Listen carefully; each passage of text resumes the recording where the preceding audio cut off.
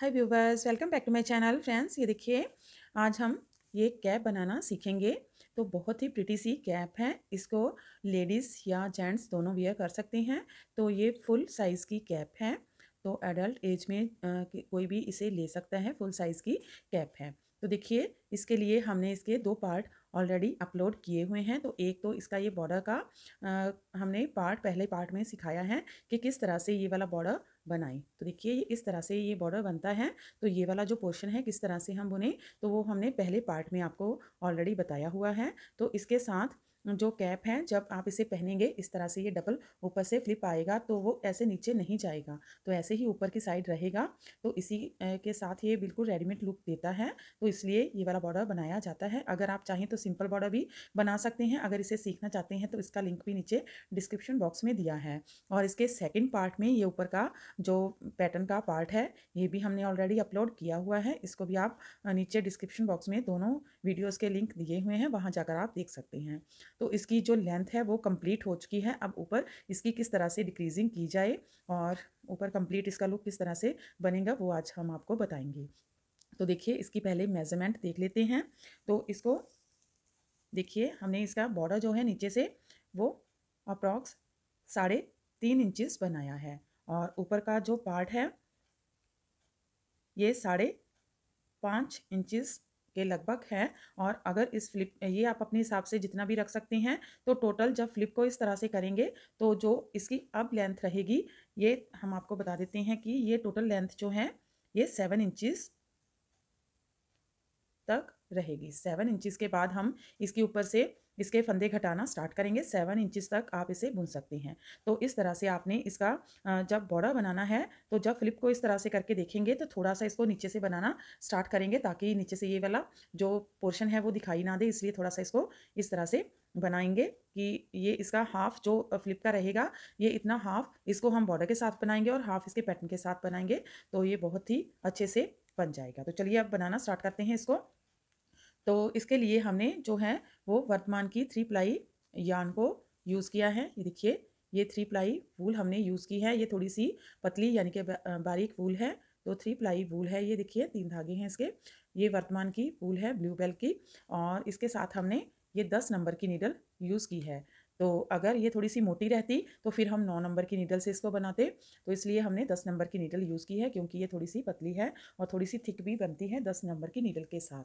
तो अब देखिए, अब इसको हम बनाएँगे। अब हम ये सीधी साइड कंप्लीट करके रॉन्ग साइड में, उल्टी साइड में आ गए हैं। तो यहाँ से हम इसके फंदे घटाना स्टार्ट करेंगे।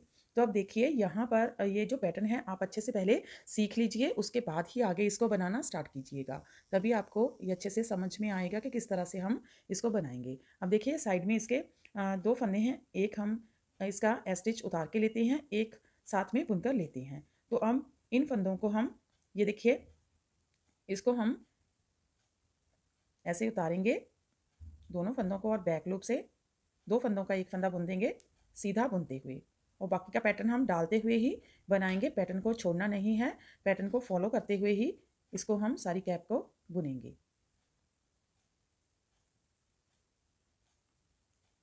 धागा पीछे करेंगे, फिर से ये दो सीधे फंदे हैं तो फिर से इनको स्लिप करेंगे और बैक लूप से दो फंदों का एक फंदा बुनेंगे तो एक एक फंदा हमारा यहाँ पर डिक्रीज होता जाएगा।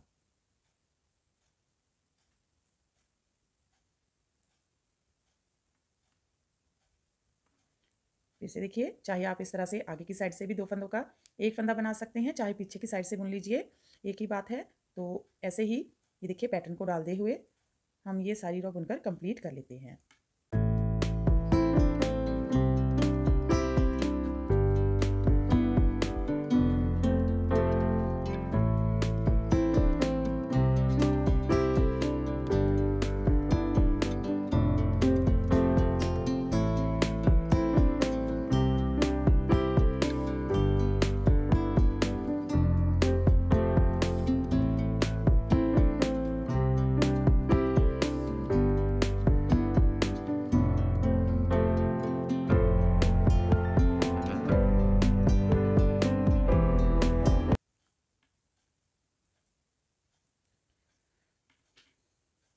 देखिए, ये लास्ट के भी दो फंदों का एक फंदा बना देंगे आगे की साइड से।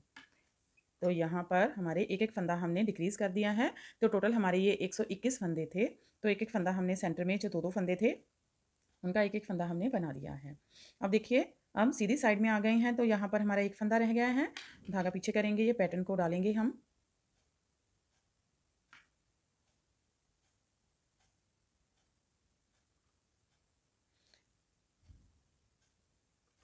और सेंटर में ये एक उल्टा फंदा है। आप देखिए इसको कैसे करेंगे। पहले स्लिप कर लिया है उस फंदे को। ऐसे पेस्ट कर लेंगे। अब ये वाला जो सेंटर का फंदा है, इसको हम ऐसे आगे की साइड से दो फंदों का एक फंदा बुनेंगे। यहाँ पर एक फंदा हमारा कम हो जाएगा, ये वाला फंदा सीधा बुन देंगे। फिर धागा आगे, ये उल्टा फंदा उल्टा बुन लेंगे। धागा पीछे, ये दो फंदे हैं, इनको पेस्ट करेंगे।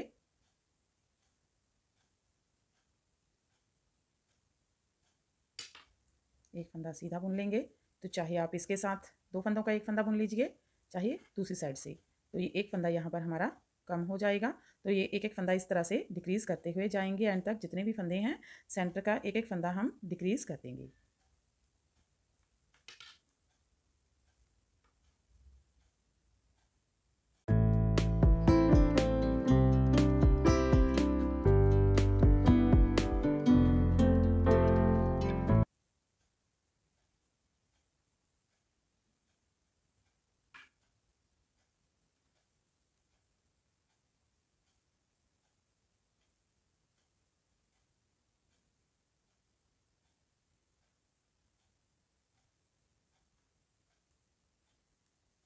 अब देखिए रॉन्ग साइड में आ गए हैं।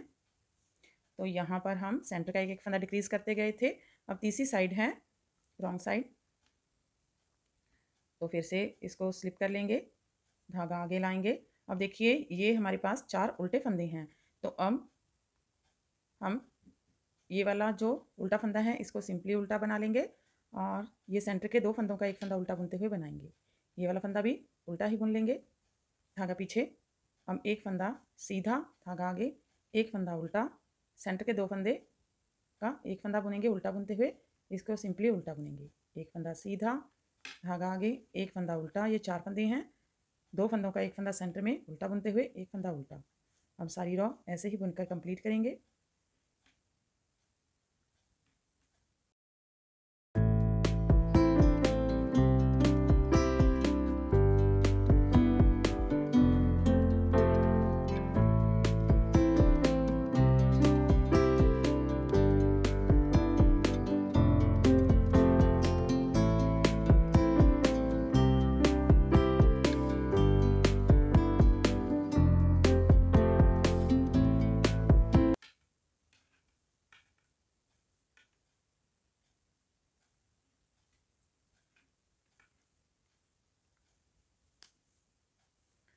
अब देखिए, चौथी रो है और सीधी साइड में आ गए हैं।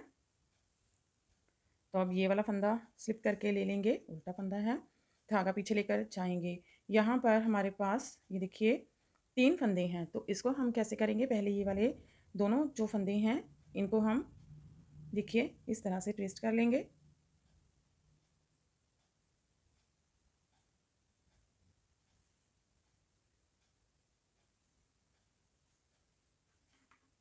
इसको आगे लाएँगे।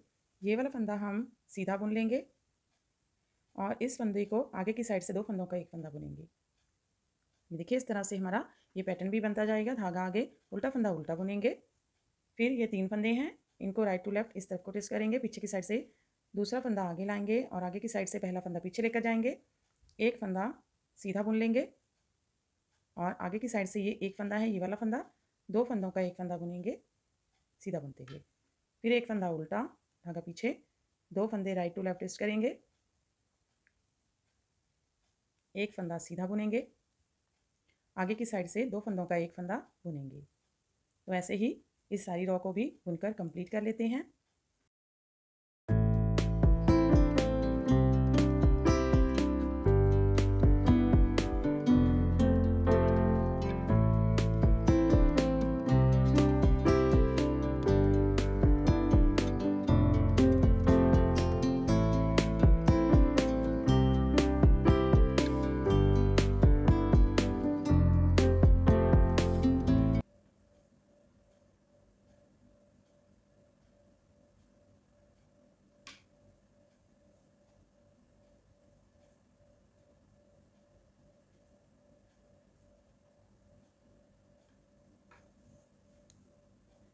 अब देखिए, पाँचवीं रॉ है।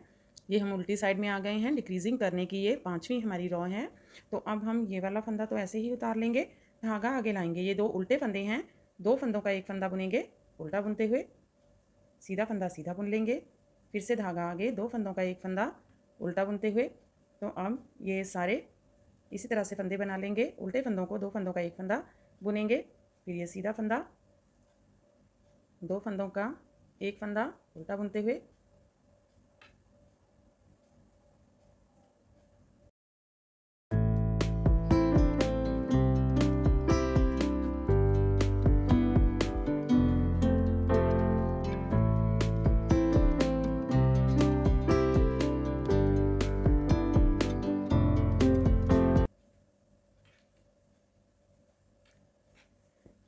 देखिए सीधी साइड में आ गए हैं। तो अब हम फिर से यहाँ पर देखिए किस तरह से करेंगे। इसको तो वैसे ही उतार लेंगे, साइड वाले फंदे को धागा पीछे करेंगे। अब ये जो हमारे फंदे हैं, एक सीधा एक उल्टा तो इनको दो फंदों का एक फंदा बुनेंगे। इसको उतारेंगे और बैक लूप से दो फंदों का एक फंदा, फिर से जितने भी फंदे हैं, ऐसे ही बना देंगे। दो फंदों का एक फंदा बुनते हुए सीधा फंदा उतारेंगे और बैक लूप से दो फंदों का एक फंदा। देखिए, इस तरह से ये सारे फंदे बना लेते हैं।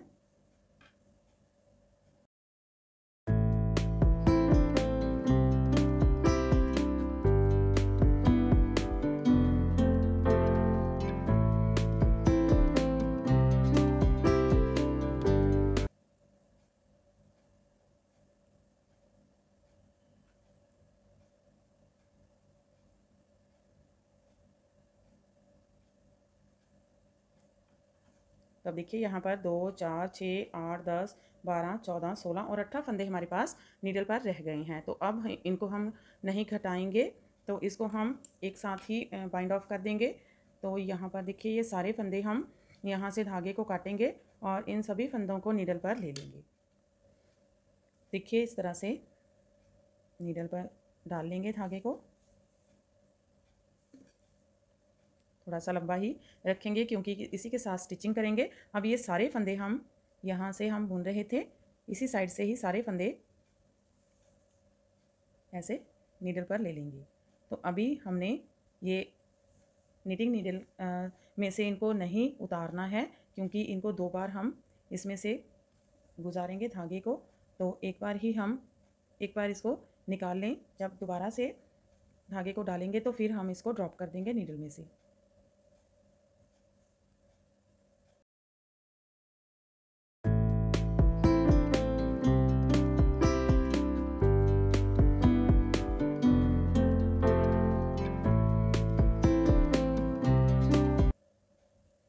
देखिए, इस तरह से सारे फंदे हमने एक बार धागे में से गुजार लिए हैं। अब दूसरी बार फिर से इसको निकालेंगे। दो बार इसको हम राउंड, दो राउंड लेंगे। तो अब हम ये नीडल में से उतारते जाएँगे इस तरह से।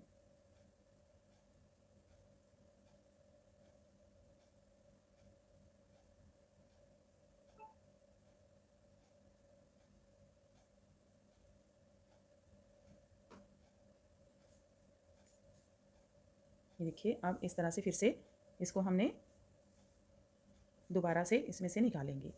तो थोड़ा सा ये पक्का हो जाता है, इसलिए इसको दो बार निकालते हैं। अब थोड़ा सा टाइट करके इनको हम बाँध देंगे।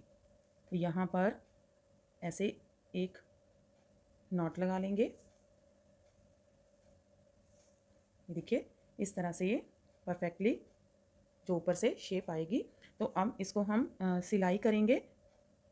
तो जैसे भी आप स्टिचिंग करते हैं स्टिच करते हैं, वैसे ही आप इसको सिल सकते हैं।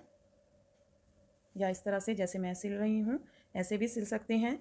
या जैसे भी आप जिस भी मेथड से इसको बनाते हैं, वैसे ही बना सकते हैं। तो बिल्कुल छोटे छोटे स्टेप लेते हुए इसकी हम स्टिचिंग कर लेंगे।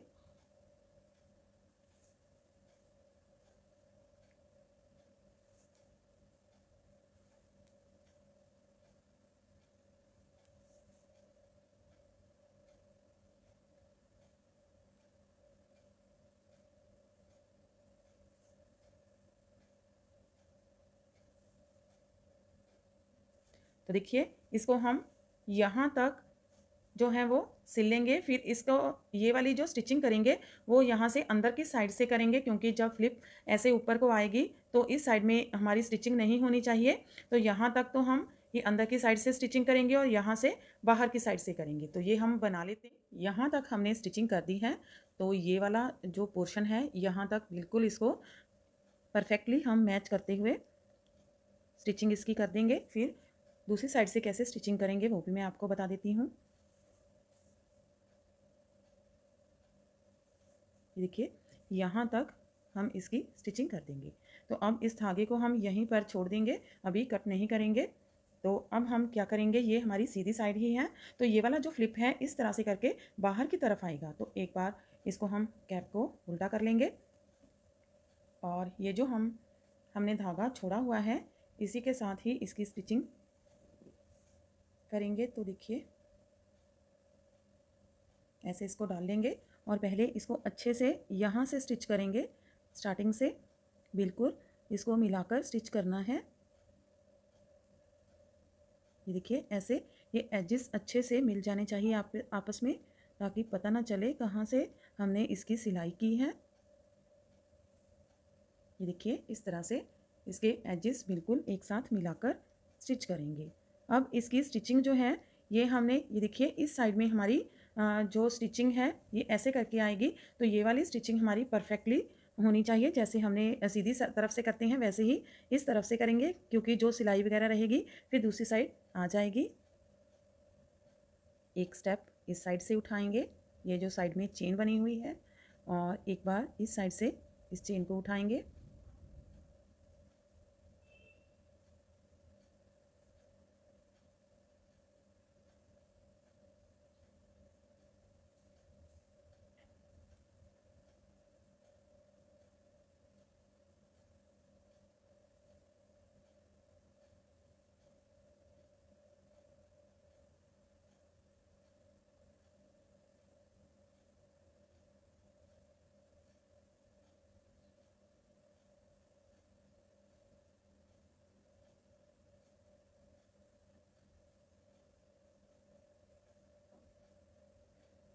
तो देखिए थोड़ा सा इसको टाइट कर देंगे।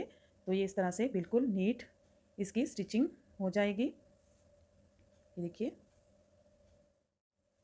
तो ये देखिए, इस तरह से ये बनकर रेडी हो गई हैं। यहाँ से हमने इसे स्टिच कर लिया था। तो ये देखिए, यहाँ से इसकी स्टिचिंग की गई है। तो बिल्कुल भी पता नहीं चल रहा कि कहाँ से हमने स्टिचिंग की है। बहुत ही परफेक्टली ये बनकर रेडी हो गई है। तो देखिए, कितनी सुंदर सी कैप बनी है। तो ये फ्री साइज़ कैप है। तो कोई भी इसे ईज़िली कैरी कर सकते हैं। बहुत ही प्यारी सी कैप बनकर रेडी हुई है और इसकी फुल मेज़रमेंट ये देखिए एट इंचज़ जो है वो बनकर रेडी हुई है। तो फ्रेंड तो चलिए फिर आप भी इसे बनाइए और हमें बताइए कि आपको हमारे पैटर्न्स कैसे लगते हैं। अगर आपको हमारे पैटर्न्स अच्छे लगते हैं तो हमारे चैनल को लाइक करना शेयर करना और सब्सक्राइब करना मत भूलें। तो फिर से मिलते हैं ऐसे ही और नए नए से प्रोजेक्ट्स लेकर। तब तक के लिए बाय बाय फ़ैन